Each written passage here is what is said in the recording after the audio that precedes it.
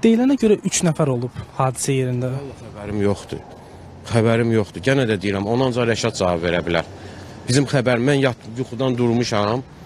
Deyiblər ki, bəs belə bir hadisə baş verib, durub gəlmişəm. Mən heç bir, amma bu indi sizdən eşidirəm. ya, Doğrudan bunu sizdən eşidirəm. Hələ ki bu sözü eşitməmişdim. Bıçaq gəzdirməklə bağlı məlumat. Ömrü boyu Bəşad üstündə bıçaq gəzdirməyib. Heç ancaq özünü müdafiə eləyə bilər. Ancaq özünü müdafiə eləyə bilər. Mən bilmirəm. Doğrudan deyirəm, bilmirəm.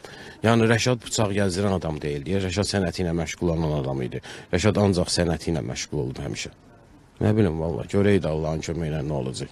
Və narkotik istifadəsi ilə bağlı daha öncə istifadə edib, nə vaxtdan bəri istifadə etmirdi Rəşad bəy? Mənim xəbərim yoxdur. Mənim xəbərim yoxdur. Yəni mən bu barədə heç nə deyə bilmərəm. Neçə ildir dostunuz?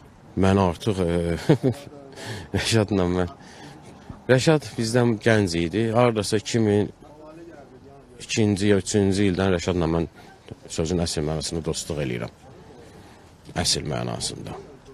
Yəni o gənc idi, hələ yəni həm onun 7 yaşı zadı var idi belə deyək. İlk dəqiqəsindən sonra. İlk bu məli adamımdır da mənim. Demək olar ki 5-6 qapı var aramızda.